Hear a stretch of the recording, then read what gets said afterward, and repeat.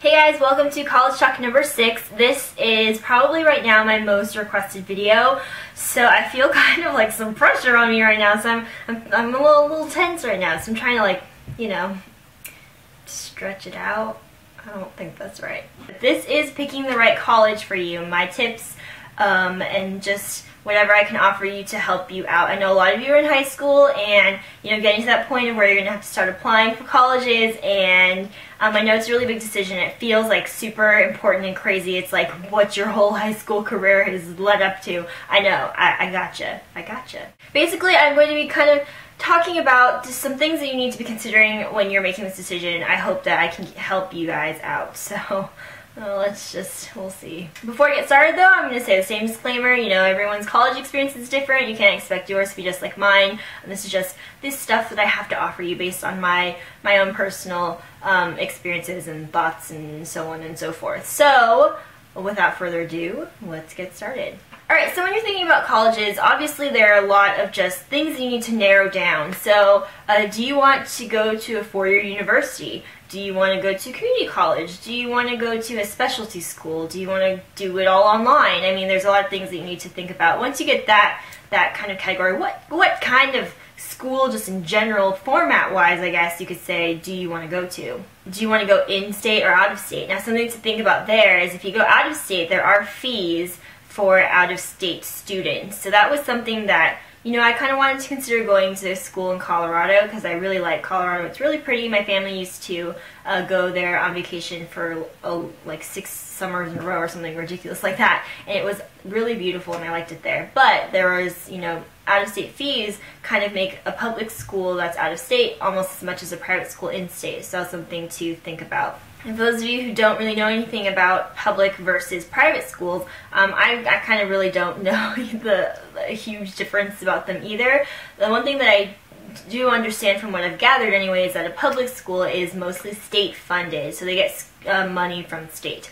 Uh, whereas private schools mainly get their money through tuition, which is why it's so expensive to go to private schools, um, and donations from you know people and alumni and that kind of thing. So that's that's at least what I've gathered. That's like the main difference. Private schools uh, are they seem to be more you know tight knit. They're you know they're they're private and they're individual and they're independent, whereas public schools kind of have some sort of link to each other. You know, um, I go to UC and there's a bunch of UCs, so there's all the, there, there's the whole UC like bond, I guess you could say. So that's that's something else. I, mentioned that cost is definitely a difference. Public schools are much less expensive generally than private schools, just because of the funding difference. Do you want to go to a large or a small school? That's something to think about as well. Um, and there's always you know medium-sized schools as well, but small schools generally. Um, uh, it could be, you know, just a few thousand students, and each class of yours may be just like a high school class, you know, it's a small,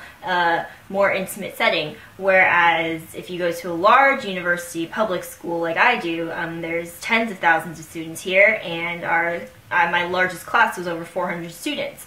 So, you know, there, that's definitely something to consider. Not saying that you can't have small classes when you get to a large uh, school like I do. I, there are definitely classes that I've taken that are about 30 30 something students. So it is just like a high school classroom. So that's something to think about as well. Not only class size, but just campus size. My school is huge. It's it's gigantic. It's composed of six colleges within the university, um, and each one has its own sort of area of campus.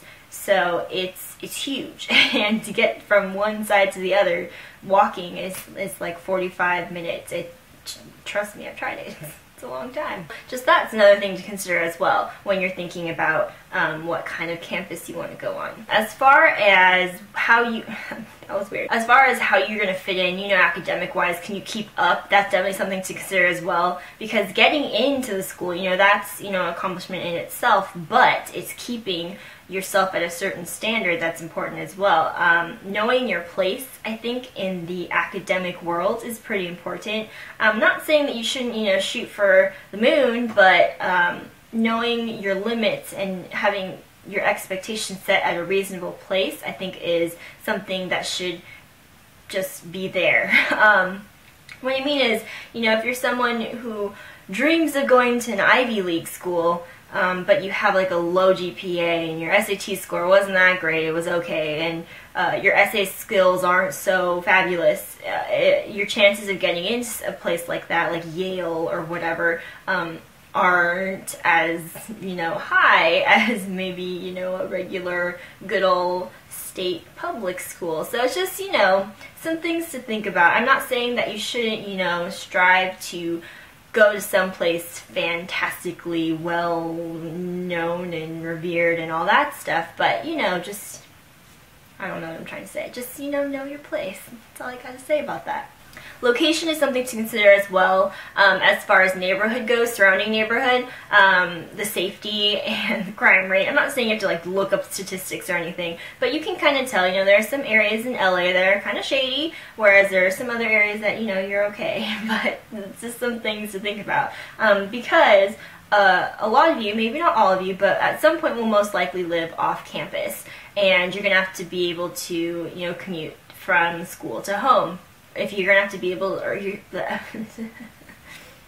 you're gonna have to take public transportation like the bus system or something like that to get from home to school, uh, the safety and just your comfortableness comfort is what I was looking for uh, with that is important as well. Um, I my school is in a fairly safe neighborhood, but there are most definitely still we get emails from the campus police and stuff about attempted kidnappings and sexual assault and uh, robbery and all that kind of stuff more often than you would expect. I'd say I get a few of those emails every year that I've been at school, and it's it doesn't seem scary until you get that kind of alert and the details of what happened and stuff. So just no matter where you are, just make sure that you feel comfortable with it, that you don't, you know, feel like you have to like look over your shoulder everywhere. Also, as far as location goes, um, I think fun things are important as well. You know, my school is located by, you know, a good amount of malls. Um, we have the beaches,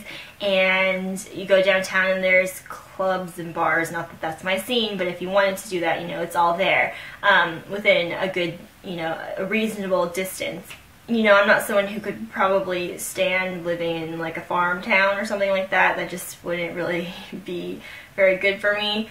So just knowing what kind of social activities you could possibly engage in outside of campus and stuff is, I think, something that you would want to consider. I'm not saying it should be your number one priority, but it is definitely something that I think everybody kind of keeps an eye out for. Campus visits. So I recommend doing this probably the summer before your senior year of high school. Doing it any earlier, you just kind of don't really pay attention or take in information unless you're super pumped about college. When you're younger, I, I definitely wasn't. I went along with a lot of my older brothers college tours. He's two years older than me, so I, it was pretty early on for me to be doing this type of thing.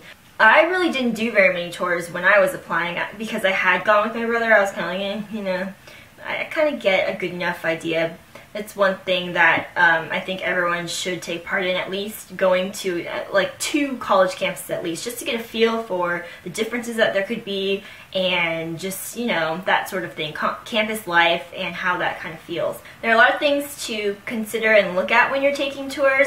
Um, usually they kind of go over this with you and they'll take you to certain things that you would want to see. Um, but lecture halls dorming uh, the bathrooms um, dining halls um, that sort of thing, or those are the things that you're going to be frequenting a lot when you get to college. So they're the types of things that you kind of want to check out and see if they are compatible with what you want. Alright, so I believe most people uh, know by April or around April if they got in or if they got denied. So that's another time when people start to go touring again. Um, it's more of like a uh, congratulations, you got into our school. Um, this is why you should come here. So everyone's all super pumped up and excited, and you know they're trying to promote the campus and stuff. And that's what was that? that's a really fun time to look at these campuses because they're actual. You know, you got in. They're they're serious. They want you to come to your their school. It's it's you know a very woohoo type situation. I don't know where I was going with that. Now, I do want to talk about a couple regrets that I have. I don't know if I would actually call them regrets. They're more like things I wish that I had done more of or just, I'll get to them. So, first thing, I wish that, um, hello. I wish I had just been more active in the application process. I, I really, when I was applying to colleges, I wasn't very stressed out about them because I really didn't have a whole lot of, of care about them. Let's be honest. I just, I knew I was going to get in somewhere, and I knew that I would get into a fairly decent school. My GPA was pretty good. My SAT score was pretty good. Um, I had a lot of extracurriculars. I had some leadership in there, volunteering. I had a lot of, you know, some just good stuff in there. I knew that I would be okay. Um, so I didn't invest a whole lot of feeling or passion into this whole process. I was very nonchalant about the whole thing. I wish that I had looked into things more. Now, if you have to consider, though, at this point in time, I, I was a senior in high school. Uh, YouTube was not even a thing for me. I, I, I watched videos, but I, I, had not even considered making my own channel at this point. Um, I was kind of on the path of going pre-med, being a science major, um, eventually becoming a doctor. This was kind of where my mindset was. I wasn't passionate about it, but this was kind of where I assumed my life would go. So with that being said, the colleges that I applied to were all schools where I would most likely be a science major, so there were no kind of any sort of specialty, you know, fashion, beauty, anything at all put into my thought process. Um, and I'm not saying that you're going to know exactly what you want when you're in high school, because that's not true for most of us, but it's something to think about, you know, having the option to do something else is, I think, something to consider. So I wish that I had looked in to other schools a little bit. Um, I I think that I didn't really care enough to do so. So I think if you're like how I was, just just be more involved, be more active in your college search because I didn't really look anywhere besides the UCs. I, I mean, I went, I did apply to SC, but I didn't even finish the application process. I don't think because I didn't want to go there. Um, my dad just told me to apply, and I, I already knew I wasn't going to go there because I didn't want to. So there's that. I don't want to say that I regret going to the school that I go to because honestly, the way I feel about college, I would regret or I would not enjoy school no matter what college I went to. I'm not someone who loves to learn. I said this before, I don't love school, I don't love classes. It's just not something that I have ever enjoyed, really. So no matter where I go, I feel like I kind of would feel that way. So just putting that out there. But as far as my my decision making process went with college was I went to the best school that I got into. And I think that's kind of how a lot of people think about it. I, I you know, your reputation and how other people see you is very important when you're in high school and, and to your parents, you know, they want to be able to tell other people that, you know, my, my daughter's going to blah, blah, blah. Like, wow, you know, it's really good school, blah, blah. That's the kind of thing that they want to be able to say and feel and you know, be proud about. But it's also important to realize that the the reputation and the prestige of a school's name is not the most important thing once you actually get there. Because honestly I mean your undergrad career isn't necessarily the most important thing. Um, a lot of people go to um, grad school and other sorts of situations after undergrad that completely like you know make undergrad irrelevant. Sorry these hand motions are not helping so I know that at the time it's going to seem like that's the choice that you have to make, but you really need to think about what school really feels like the right fit for you, not necessarily just based on the the best school. You know, you know what I'm saying? You know what I'm saying? Okay. So just something to think about. Just because you got into this school that's you know really good doesn't mean that you can't go to a school that isn't quite as good if you want to go to that school. And I know that it's kind of hard because your parents or your friends or whoever may have a really big um, impact on your decision, but it's something that you need to take into account yourself and take responsibility for and be like, yo, I want to go to that one, not that one, and just, you know, own it. So that's all I really have to say. Hopefully this was somewhat helpful to you guys. I don't know if I answered any sort of questions or confusion that you may have had, but feel free to leave questions in the comments if you have any um, that I didn't address because I'm sure there was something that I left out. But anyway, that's all I have for today. Thank you for watching and I will see you guys next time. Bye!